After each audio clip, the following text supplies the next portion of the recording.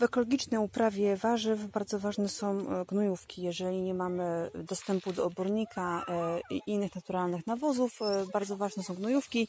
Gnojówka z pokrzywy, z pokrzywy jest bardzo na samym początku, ponieważ ona ma bardzo dużo azotu.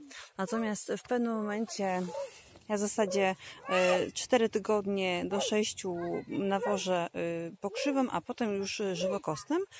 To jest żywokost. Można go spotkać właśnie w takich nieużytkach.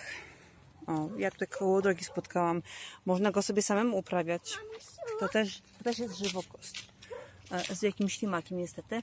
Mm, Ścinamy taki żywokost, e, ponieważ on ma bardzo głęboki system korzeniowy, e, dlatego z głębszych pokładów wyciąga składniki mineralne i ma dużo fosforu i potasu.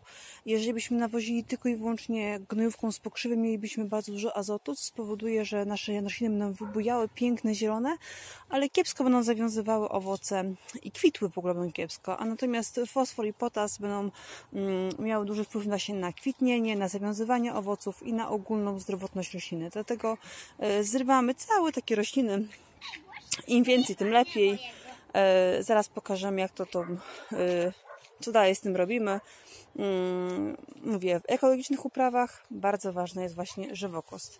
Tak wygląda, później ma takie fioletowo-białe kwiatki. Im więcej zielonego, tym lepiej. Im młodsze roślinki, też tym lepiej. Tylko, że wiadomo, jak znajdziemy takie coś, to wszystko zbieramy. To odrośnie, no można w zasadzie e, co, co 4 tygodnie odrasta do takiej postaci. Jak to zetniemy wszystko, to za 4 tygodnie będziemy mieć znowu z takiego. Więc niektórzy uprawiają nawet żywokość tam jakiejś tam reprezentatywnej miejscu. Natomiast e, ja korzystam z dobroci e, nie Cały piękny bukiet żywokostu poszedł do wiaderka. E, dałam też trochę skrzypu, ma takie samo działanie jak żywokost. E, mówią, że, 10, że kilogram na 10 litrów wody. No zróbcie tak, żeby Wam się zmieściło po prostu we wiadrze. No kto będzie liczył, ile to jest kilogram, ile to jest półtora kilograma. Miałabym więcej, dodałabym więcej, byłoby to bardziej intensywne. Um, oczywiście zalewamy to e, wodą, najlepiej deszczówką. No tak, to jest funkcja. Ona pilnuje wszystkiego. Tak, czy dobrze zalewam? Będzie pilnowała. Zalewamy to wodą deszczówką i zostawiamy, znaczy zostawiamy. Raz dziennie to trzeba przemieszać. Raz dziennie, dwa razy dziennie.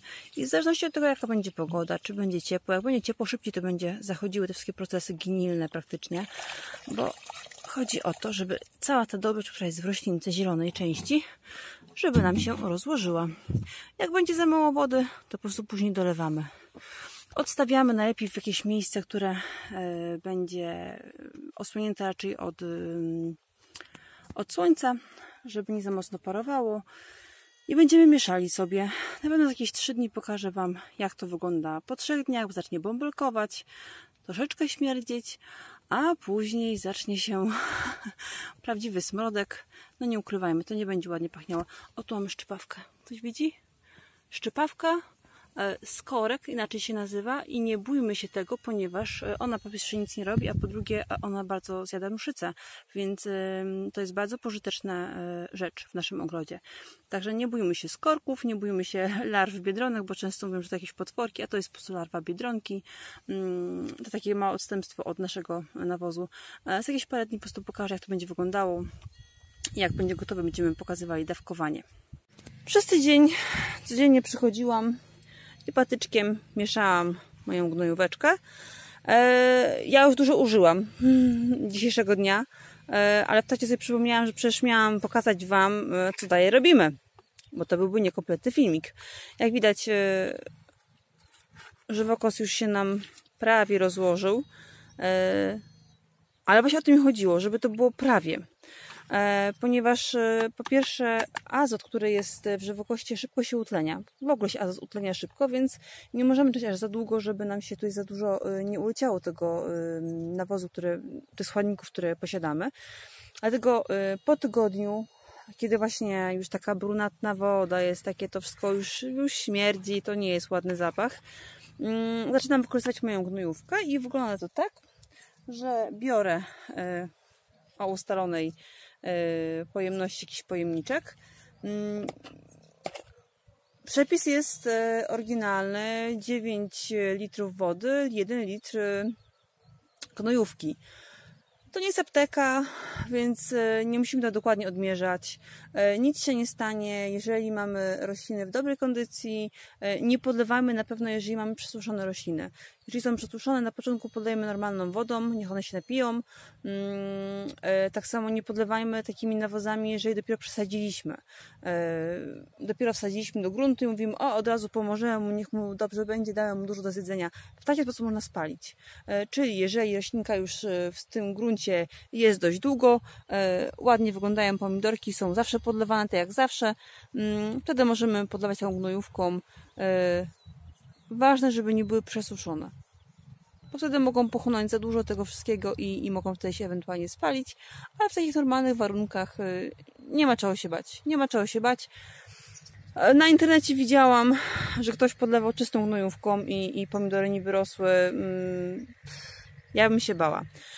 A więc ja nie przecedzam. Takie o, brudne, brudne. Sąsiad pojechał. Wlewamy. Yy, tak, polecam yy, yy, zakładać rękawiczki, bo oczywiście na to czasu nie miałam i niestety, ale jak ubrudzę sobie rękę, będzie śmierdziało. I podlewam bez dzióbka, żeby nie musiała nic przelewać. Mm, dodatkowo zielone części, które tam pozostawały, pójdą dalej użyźniać dalszej części nasze roślinki. Podlewamy jakbyśmy normalnie podlewali każdą roślinę, czyli nie to, że pół litra, nie więcej. Nie, podlewam to jak podlewaliśmy 3 litry, niech tylko ci porządnie podlać tym, to jest jedzonko dla, tego, y, dla tych naszych roślinek. Mm, I teraz co robimy? ja wykorzystam to praktycznie do zera, tak? Czyli wszystko praktycznie wykorzystam i zaleję to znowu wodą. Przez tydzień znowu będę mieszała i za tydzień znowu będę używała tego. I jak to zużyję, przyniosę sobie, poczekam tydzień, przyniosę, przyniosę sobie dopiero znowu żywokost. Czyli dwa tygodnie polewa, podle, podlewam taką gnojówką, czyli dzisiaj podlewam i za tydzień podlewam i za kolejny tydzień dopiero robię kolejną gnojówkę, więc dwa tygodnie przerwy w, w podlewaniu. Y, ja to tak zawsze robię. Resztki, które mi zostaną, bo wiadomo, że takie części pewnie nie rozłoży, y, warto by było na kompostownik y, wyrzucić. Natomiast ja przyznaję się, wyrzucam gdzieś daleko, daleko od domu, bo to jednak śmierdzi.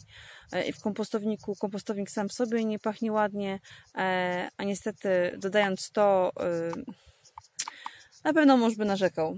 A y, jeżeli chodzi o podlewanie roślinek y, w gruncie, y, staram się to robić, kiedy mm, właśnie jest padało niedawno, żeby nie było jakiejś albo podlewam mocniej, jeżeli są bardzo upalne dni, podlewam mocniej, wtedy podlewam gnojówką. Także mam nadzieję, że pomogłam. Mm, tam jeden pomidorek w tamtym miejscu zaczyna mi się rumienić. I na jeszcze czekamy. Moje żółte, a jeszcze ładnego jednego pokażę. Czarne będą. To będą Indigo Rose. Tam, gdzie jest ten fioletowy kolor, będą całkowicie czarne. Miąższ będzie czerwony, ale to są bardzo fajne, bardzo ładne. Hmm, także dzieje się, dzieje się w moim ogrodzie. I dalej do roboty śmierdzącej muszę iść. Także mam nadzieję, że coś, coś pomogłam, że yy, wytłumaczyłam pewne kwestie, yy, że mój filmik będzie pomocny.